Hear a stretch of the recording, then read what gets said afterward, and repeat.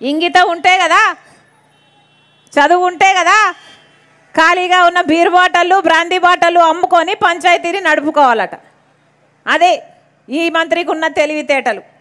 Fifth class కూడా fail అయిన వాడిని తీసుకొచ్చి మంత్రులను చేశారు.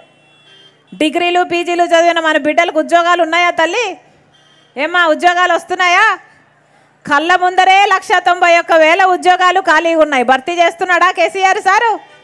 మూడేళ్ళు కర్రసాము నేర్చి ఆఖరికి మూలనున్న ముసల్దాన్ని కొట్టాడట ఒకడు. ఎవరు? కేసీఆర్ సారు. లక్ష తొంభై ఒక్క వేల ఉద్యోగాలు ఉంటే భర్తీ చేయడట నలభై మూడు వేల ఉద్యోగాలు ఇస్తాడట సారు. అది కూడా ఎప్పుడు ఇస్తాడో ఎప్పుడొస్తాయో ఎవరికి ఎరుక లేకుండా పోయింది. ఇక ఇలాంటి వాళ్ళు ఐదు ఆరు తరగతి చదవని వాళ్ళు కూడా మంత్రులై కూర్చున్నారు. అంటే డిగ్రీలు పీజీలు చదివిన బిడ్డలకు మాత్రం ఉద్యోగాలు లేవు. ఉద్యోగాలు అడిగితే పోయి హమాలి పని చేసుకోండి అని చెప్తున్నాడు ఇలాంటి మంత్రి ఇలాంటి వాళ్ళు. అంటే డిగ్రీలు పీజీనే చదివిన బిడ్డలు మాత్రం బంగారు తెలంగాణలో హమాలి పని చేసుకోవాలనా? ఐదు ఆరు తరగతి చదవని వాళ్ళు కూడా ఇలా మంత్రులు అవ్వాలనా మంత్రులయ్యి ఇలా ఖాళీగా ఉన్న బీర్ బాటలు బ్రాందీ బాటలు అమ్ముకొని పంచాయతీ నడుపుకోండి అని వీళ్ళు మనకు సుతపూస మాటలు చెప్తే మనం వినాలనా? ఏమవుతుంది బంగారు తెలంగాణలో? ఇదేనా బంగారు తెలంగాణలో? ఎంఎస్ చదువుకున్న బిడ్డలు కూడా ఈరోజు పన్నెండు వేలు పదహైదు వేల రూపాయలకు ఉద్యోగాలు చేస్తున్నాం అక్క అంటున్నారు.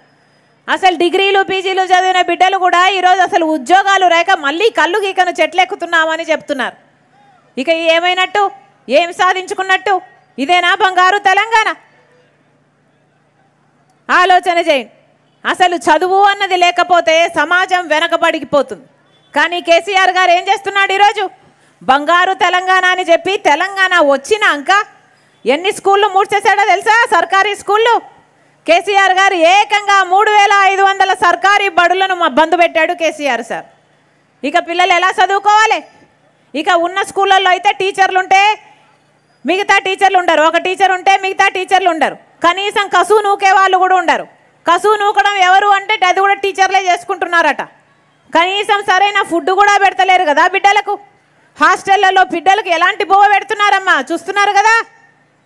ఏం చెప్పిండు కేసీఆర్ సారు? నా మనవడు నర్సయ్య మనవడు ఒకే బువ్వ తినాలే ఒకే బడికి పోవాలే అన్నాడు కేసీఆర్ సార్.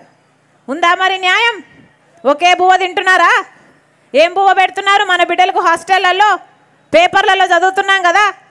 ఆ బువ్వ నిండా పురుగులు బొద్దెంక బల్లి కప్ప ఇలాంటి ఫుడ్ పెడుతుంటే మరి ఆ బిడ్డలు ఏం కావాలి?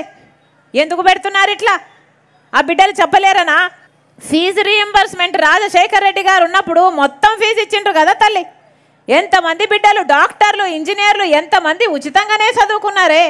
ఇప్పుడు ఉందా ఫీజు రీఎంబర్స్మెంట్ కేసీఆర్ గారు ఇస్తే ఎంత ఇస్తాడట? ముష్టిచ్చినట్టు ముప్పై ఐదు వేలు ఇస్తాడట. అది కూడా ఎప్పుడు ఇస్తాడట? ఎవరికి ఇస్తాడట? ఎవరికీ తెలియదు. ఇప్పటికీ పదహైదు లక్షల మంది విద్యార్థులు మూడు వేల ఐదు వందల కోట్ల రూపాయలు ఫీజు రీఎంబర్స్మెంట్ బకాయిలు చెల్లించాల్సి ఉంది కేసీఆర్ సార్. ఇన్ని కాలేజీలకి ఇంకా బకాయిలు అలాగే ఉండిపోతే ఆ కాలేజీలేమో ఆ బిడ్డల సర్టిఫికెట్లు కూడా అట్టి పెట్టుకున్నారు. ఇక సర్టిఫికెట్లు కూడా రాకపోతే చదివేం లాభం? ముందు చదువు ఎట్లా చదవాలి? లేకపోతే ఈ సర్టిఫికెట్తో ఉద్యోగం చేసుకోవాలంటే ఎట్లా చేసుకోవాలి? పాపం ఎంతమంది బిడ్డల జీవితాలతో ఆటలు ఆడుకుంటున్నాడు కేసీఆర్ సార్. ఇదేనా బంగారు తెలంగాణ? ఎవరికైంది బంగారు తెలంగాణ? ఐదు ఆరు తరగతి వాళ్ళు చదవని వాళ్ళు కూడా ఈరోజు రాజ్యాలు ఏలుతున్నారు. వాళ్ళు మటుకు బ్రహ్మాండంగా ఆస్తులు సంపాదించుకుంటున్నారు. డిగ్రీలు పీజీలు చదివిన బిడ్డలు మాత్రం రోడ్ల మీద బతుకుతున్నారు. ఎవరికైంది బంగారు తెలంగాణ? మంచోడు మంచోడు అంటే మంచం కోళ్ళు ఎత్తుకుపోయిండంట ఒకడు. ఎవరు? ఎవరమ్మా? కేసీఆర్ సార్. ఎవరికైందన్నా బంగారు తెలంగాణ అని చెప్పి అసలు పేదవాడికి బతుకే లేకుండా చేశాడే. ఇంతమంది మహిళలు ఉన్నారు అమ్మ మీరు చెప్పండి. రాజశేఖర్ రెడ్డి గారు ఉన్నప్పుడు బియ్యంతో పాటు ఎన్ని ఇచ్చాడు తల్లి? గోధుమలు ఇచ్చాడు కందిపప్పు ఇచ్చాడు చక్కెర ఇచ్చాడు నూనె ఇచ్చాడు చింతపండు ఇచ్చాడు ఆఖరికి ఉప్పు కారం కూడా ఇచ్చాడు కదా తల్లి? ఇప్పుడు ఏమైనా ఇస్తున్నారా? దొడ్డు బియ్యం ఇస్తున్నారు. అది కూడా ఎవరికి ఇస్తున్నారు? అడిగిన వాళ్ళల్లో సగం మందికి అది కూడా లేకుండా పోయే. ఇదేనా బంగారు తెలంగాణ? ఆర్టీసీ ఛార్జీలు పెరిగినాయి కరెంటు ఛార్జీలు పెరిగినాయి. కేసీఆర్ సార్ ఇల్లు కట్టడు కానీ ఇంటి మీద పన్ను మాత్రం వసూలు చేస్తాడట. గ్యాస్ ధర పెరిగే నూనె చక్కెర పెరిగే అన్నీ పెరిగితే ఇంకా ఎలా తినాలి ఎలా బతకాలి? అసలు బంగారు తెలంగాణ అని చెప్పి అసలు పేదవాడికి బతుకే లేకుండా చేశాడు కేసీఆర్ సార్. బంగారు తెలంగాణ అని చెప్పి అప్పుల తెలంగాణగా ఆత్మహత్యల తెలంగాణగా చేశాడు కేసీఆర్ సార్. బంగారు తెలంగాణ అని చెప్పి బీర్ల తెలంగాణగా బార్ల తెలంగాణగా చేయలేదా కేసీఆర్ సారు? ఏమాయ్ గుడులు బడులు ఎన్నున్నాయో అంతకంటే ఎక్కువ? బీర్ షాపులు బెల్ట్ షాపులే ఉన్నాయి కదా? ఎవరికైంది బంగారు తెలంగాణ? అసలు తెలంగాణ అన్న పదాన్నే తీసేశాడు కదా కేసీఆర్ సార్. అసలు మీ ఎర్రబల్లి దయాకర్ రావు నన్ను అడుగుతున్నాడు ఆంధ్ర పార్టీ అంటున్నాడు నన్ను. రాజశేఖర్ రెడ్డి బిడ్డ తెలంగాణలో పార్టీ పెట్టింది YSR Telangana party. Andhra party అని నన్ను అంటున్నాడు మీ ఎమ్మెల్యే. అయ్యా ఎవరిది ఆంధ్ర పార్టీ? ఈ రాజశేఖర్ రెడ్డి బిడ్డ ఈ తెలంగాణ గడ్డ మీదనే పెరిగింది ఇక్కడనే చదువుకుంది. ఈ తెలంగాణ గడ్డ మీదనే పెళ్ళి చేసుకుంది ఇక్కడనే నా కొడుకును కన్నా ఇక్కడనే నా బిడ్డను కన్నా. మరి ఈ తెలంగాణ గడ్డ మీద నేను పెరిగి ఈ గాలి పీల్చి ఈ నీళ్ళు తాగితే మరి నేను ఈ బిడ్డను కాక ఏ బిడ్డనైతా? ఈ గడ్డ నీళ్ళు దాగి ఈ గాలి పీల్చుకున్నాక ఈ గడ్డకు సేవ చేయాల్సిన బాధ్యత హక్కు నాకు లేదా? రాజశేఖర్ రెడ్డి బిడ్డ వైఎస్ఆర్ తెలంగాణ పార్టీ అని పెట్టింది. ఈరోజు తెలంగాణ నామముతో ఉన్న ఏకైక రాజకీయ పార్టీ తెలంగాణలో వైఎస్ఆర్ తెలంగాణ పార్టీ. అదే కేసీఆర్ గారి టీఆర్ఎస్ పార్టీలో నుంచి ఆని ముత్యం లాంటి తెలంగాణ అనే పదాన్ని తీసేశారు కదా. ఇక ఏ ముఖం పెట్టుకొని మీరు మాట్లాడుతున్నారు ఆంధ్ర పార్టీ అని? అసలు తెలంగాణ అన్న అని ముత్యం లాంటి పదాన్ని తీసేసి బంది బోట్ల రాష్ట్ర సమితి అని పేరు పెట్టుకున్నాడే కేసీఆర్ సారు? మొన్న నాందేడ్లో మీటింగ్ పెడితే కనీసం జై తెలంగాణ అనడానికి కూడా నోరు రాలేదు కేసీఆర్ సార్కి. ఉందా దమ్ము? ఉందా దమ్ము కేసీఆర్కు జై తెలంగాణ అనే దమ్ముందా ఇప్పుడు? లేదు. ఈరోజు కేసీఆర్ కాదు రాజశేఖర్ రెడ్డి బిడ్డ ఏకైక పార్టీ వైఎస్ఆర్ తెలంగాణ పార్టీ మాత్రమే తెలంగాణ పేరు పెట్టుకున్న పార్టీ. తెలంగాణకు నమ్మకంగా సేవ చేయడానికి పెట్టుకున్న పార్టీ. తెలంగాణ ప్రజలకే కట్టుబడి తెలంగాణ ప్రజలకు మళ్ళీ రాజశేఖర్ రెడ్డి గారి సంక్షేమ పాలన తిరిగి తీసుకొచ్చే లక్ష్యంగా పెట్టిన పార్టీ వైఎస్ఆర్ తెలంగాణ పార్టీ. ఎనిమిది సంవత్సరాలుగా ఎనిమిదిన్నర సంవత్సరాలుగా కేసీఆర్ గారు ఆడిందే ఆటగా పాడిందే పాటగా సాగిందే. ప్రతిపక్షాలలో ఉన్న కాంగ్రెస్ పార్టీ అయినా బీజేపీ పార్టీ అయినా ఏ రోజైనా కొట్లాన్నాయా అయ్యా కేసీఆర్ను ఒక్క మాట కూడా ఎందుకు నిలబెట్టుకోలేదని ఎప్పుడైనా అడిగినాయా? అయ్యా కేసీఆర్ను ఉద్యోగాలు ఇవ్వకపోతే నోటిఫికేషన్లు వేయకపోతే బిడ్డలకు ఉద్యోగాలు ఎలా వస్తాయని ఎప్పుడైనా అడిగినాయా?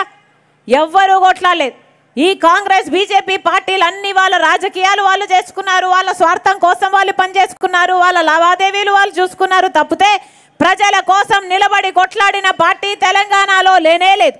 ఒక్క వైఎస్ఆర్ తెలంగాణ పెట్టినాక రాజశేఖర్ రెడ్డి బిడ్డ తెలంగాణ ప్రజలకు కేసీఆర్ గారు మోసం చేస్తున్నాడు అని ఇచ్చిన వాగ్దానాలలో ఒక్కటి కూడా నిలబెట్టుకోవడం లేదు అని తెలంగాణ ప్రజల పక్షాన నిలబడి కొట్లాడుతున్న ఏకైక పార్టీ వైఎస్ఆర్ తెలంగాణ పార్టీ. అందుకే చెప్తున్నాం అందుకే చెప్తున్నాం. ఈ రాజశేఖర్ రెడ్డి బిడ్డ పెట్టిన పార్టీ ఈ పేరులోనే కాదు రాజశేఖర్ రెడ్డి గారు ఉన్నది. ఈ జెండాలోనే కాదు రాజశేఖర్ రెడ్డి గారు ఉన్నది. రాజశేఖర్ రెడ్డి గారి అజెండా కలిగిన ఏకైక party YSR Telangana party. Rajasekhar Reddy గారి పాలన తిరిగి తీసుకొచ్చే సత్తా ఉన్న ఏకైక పార్టీ వైఎస్ఆర్ తెలంగాణ పార్టీ. మీరు ఆశీర్వదించండి. రాజశేఖర్ రెడ్డి బిడ్డను నేను. పులి కడుపున పులే పుడుతుంది. నా గుండెలో నిజాయితీ ఉంది. మీకు సేవ చేయాలి అన్న తపన ఉంది. మీరు ఆశీర్వదించండి. ఆ రాజశేఖర్ రెడ్డి గారి సంక్షేమ పాలన మీ చేతుల్లో పెడతానని రాజశేఖర్ రెడ్డి బిడ్డ మీకు మాటిస్తుంది. మూడు వేల ఎనిమిది వందల కిలోమీటర్లు పాదయాత్ర చేసింది రాజశేఖర్ రెడ్డి బిడ్డ. ప్రజల పక్షాన నిలబడి రుణమాఫీ ఎందుకు చేయలేదు? మహిళలకు ఎందుకు మోసం చేశారు? ఉద్యోగాలు ఎందుకు ఇవ్వలేదు? నిరుద్యోగుల కోసం కొట్లాడాం. డబుల్ బెడ్రూమ్ ఇల్లు ఎందుకు ఇవ్వలేదు? అందరికీ పెన్షన్లు ఎందుకు ఇవ్వడం లేదని అడుగు అడుగున ప్రతి నియోజకవర్గంలో కొట్లాడిన ఏకైక పార్టీ వైఎస్ఆర్ తెలంగాణ పార్టీ. మీరు ఆశీర్వదించండి. మళ్ళీ ఆ రాజశేఖర్ రెడ్డి గారి సంక్షేమ పాలన మీ చేతుల్లో పెడతానని రాజశేఖర్ రెడ్డి బిడ్డ మీకు మాటిస్తుంది. మీరు ఆశీర్వదించండి.